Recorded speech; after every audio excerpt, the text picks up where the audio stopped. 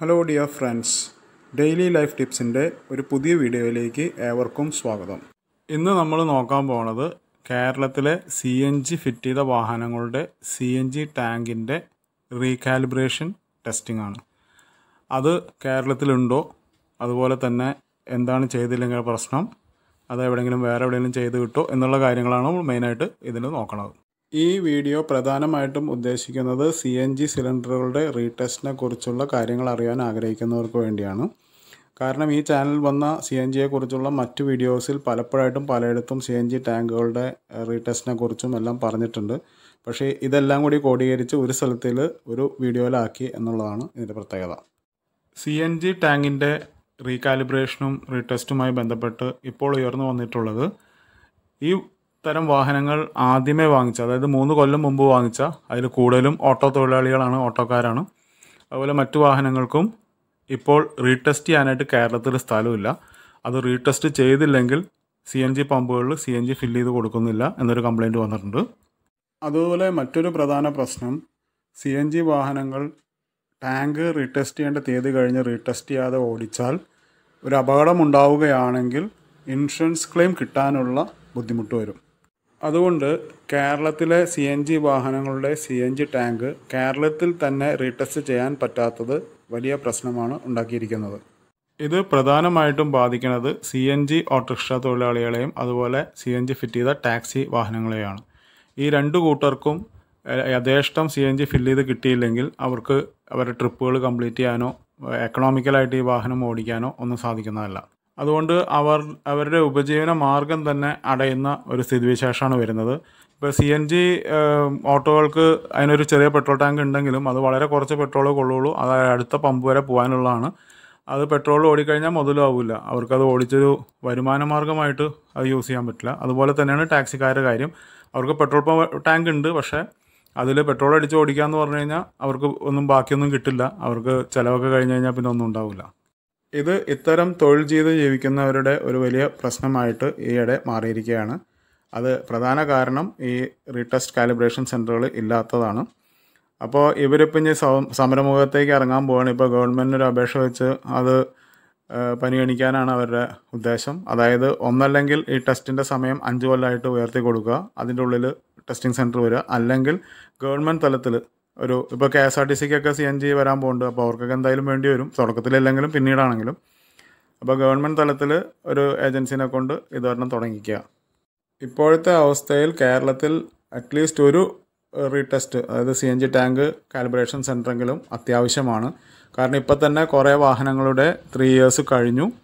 അതുപോലെ തന്നെ ഇനിയും ഒരുപാട് വാഹനങ്ങൾ വരുന്നുണ്ട്. ഇപ്പോൾ ഭയങ്കര വിലയായതുകൊണ്ട് പെട്രോളിനൊക്കെ അതുപോലെ തന്നെ ഇനിയിപ്പോൾ ഡീസൽ വാഹനങ്ങളും കൂടി കൺവേർഷൻ വരുന്നുണ്ട്.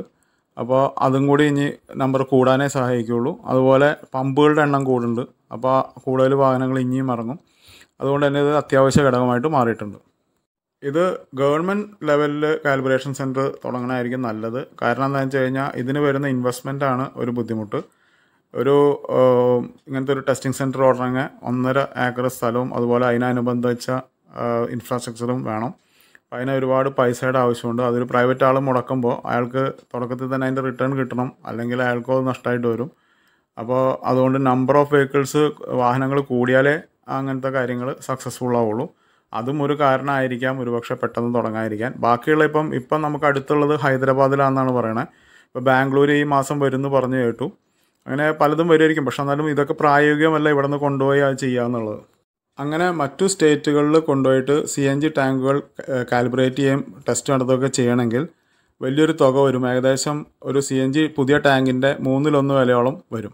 അതേസമയം ഇപ്പോൾ ഇത് കേരളത്തിൽ വരികയാണെങ്കിൽ ഒരു ആയിരം ആയിരത്തി ഇരുന്നൂറ് രൂപയുടെ ചാർജേ വരുള്ളൂ.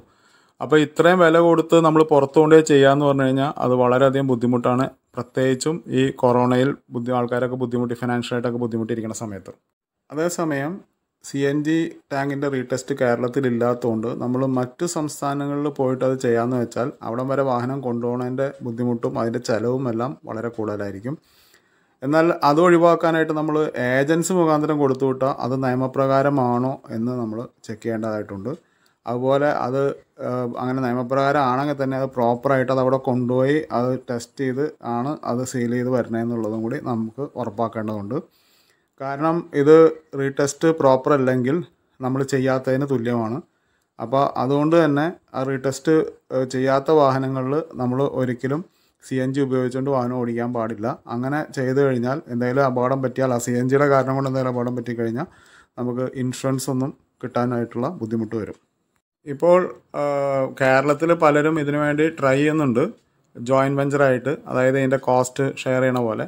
പക്ഷേ അത് വരാനായിട്ട് എന്തായാലും കുറച്ച് മാസങ്ങളെങ്കിലും എടുക്കുമായിരിക്കും ചിലപ്പോൾ ഈ കൊല്ലം അവസാനം അങ്ങനെ എന്തെങ്കിലും ആയിരിക്കാം. പക്ഷേ അതുവരെയും ഇപ്പോഴുള്ള ആൾക്കാർ എന്ത് ചെയ്യുന്നുള്ളതാണ് പിന്നത്തെ ഒരു പ്രസക്തമായ ചോദ്യം. ഇപ്പോൾ ഗവൺമെന്റ് ലെവലിൽ തുടങ്ങുകയാണെങ്കിലും കുറച്ച് സമയം എടുക്കും. ഇപ്പോൾ ഓൾറെഡി ഡ്യൂ ആയിട്ടുള്ള ആൾക്കാർക്ക് ഒന്നല്ലെങ്കിൽ അഭികാമ്യമായിട്ടുള്ളത് അഞ്ച് കൊല്ലത്തേക്ക് നീട്ടുക എന്നുള്ളതാണ്. എൽ പി ജി സിലിണ്ടറിന്റെ റീകാലിബ്രേഷൻ ടെസ്റ്റ് അഞ്ച് കൊല്ലം കൂടുമ്പോൾ ആണെന്നാണ് അറിയാൻ കഴിഞ്ഞത്. അതുപോലെ ചില ആളുകളുടെ സംശയം എന്താണ് ഈ ടാങ്കിന് വരാവുന്ന കേട് മൂന്ന് കൊല്ലത്തിന്റെ ഉള്ളിൽ അത് മൂന്ന് കൊല്ലം കൂടുമ്പോൾ കാലിബ്രേറ്റ് ചെയ്യണത് അതിനെന്തെങ്കിലും കൂടുതൽ റിസ്ക് ഉള്ളതുകൊണ്ടാണോ എന്നുള്ളതൊക്കെയാണ്. അത് കൂടുതൽ റിസ്ക് എല്ലാ പ്രഷർ സിലിണ്ടേഴ്സിനും റിസ്ക് ഉണ്ട്. അതുപോലെ തന്നെ സി എൻ ജിയുടെ ടാങ്കിനകത്തുണ്ട്. അതിന്റെ റിസ്ക് എന്ന് പറഞ്ഞു കഴിഞ്ഞാൽ ഒരു പക്ഷേ അതിനകത്ത് തുരുമ്പ് പിടിച്ചിട്ട് അതിന് അതിന്റെ എവിടെയെങ്കിലും ലീക്ക് വരാം അല്ലെങ്കിൽ ക്രാക്ക് വന്നിട്ട് പ്രശ്നം വരാം. അതൊക്കെയാണ് അവർ ചെക്ക് ചെയ്യണത്. അതുപോലെ തന്നെ ഇതിന്റെ പ്രഷർ ഹോൾഡ് ചെയ്യാനുള്ള കപ്പാസിറ്റി അതൊക്കെയാണ് ഈ റീകാലിബ്രേഷനിൽ അവർ ടെസ്റ്റ് ചെയ്യണത്. അപ്പോൾ അത് ചെയ്യണത് ഒരു നിയമപ്രകാരം അതായത് ഇന്ത്യയിലെ നിയമം എന്ന് പറഞ്ഞു കഴിഞ്ഞാൽ gas cylinder rules two thousand four ആണ്. അതാണ് ഇങ്ങനത്തെ സിലിണ്ടേഴ്സിനെ കുറിച്ച് പറയണ നിയമം. അത് പ്രകാരം നമുക്ക് ഈ മൂന്ന് കൊല്ലം കൂടുമ്പോൾ സി എൻ ജി സിലിണ്ടറുകൾ റീകാലിബ്രേറ്റ് ചെയ്യേണ്ടതുണ്ട്.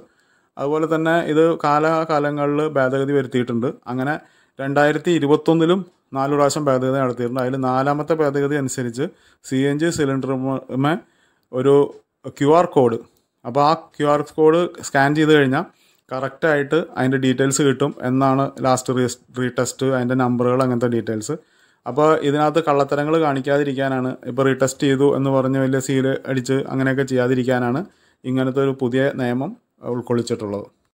അതുപോലെ മേൽപ്പറഞ്ഞ രണ്ടായിരത്തി നാലിലെ ഗ്യാസ് സിലിണ്ടർ റൂൾസ് അനുസരിച്ച് എല്ലാ പ്രഷർ സിലിണ്ടറുകളും റീടെസ്റ്റ് ചെയ്യേണ്ടതായിട്ടുണ്ട്. അതിപ്പോൾ എൽ പി ജി ആണെങ്കിലും ഓക്സിജൻ സിലിണ്ടർ ആണെങ്കിലും ഇൻഡസ്ട്രിയൽ ഗ്യാസുകളുടെ ആണെങ്കിലും എന്തിനു പറയുന്നത് നമ്മുടെ വീട്ടിലെ എൽ പി ജി സിലിണ്ടർ ആണെങ്കിൽ പോലും അതാത് സമയങ്ങളിൽ റീടെസ്റ്റ് ചെയ്യുകയും കാലിബ്രേറ്റ് ചെയ്യുകയും ഒക്കെ വേണ്ടതാണ്.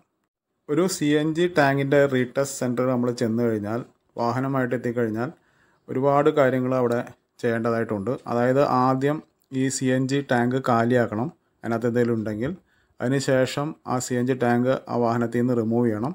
അതിനുശേഷം അത് കഴുകി വൃത്തിയാക്കി അതുപോലെ ആദ്യമായിട്ട് അത് മാനുവലായിട്ട് ചെക്ക് ചെയ്യും.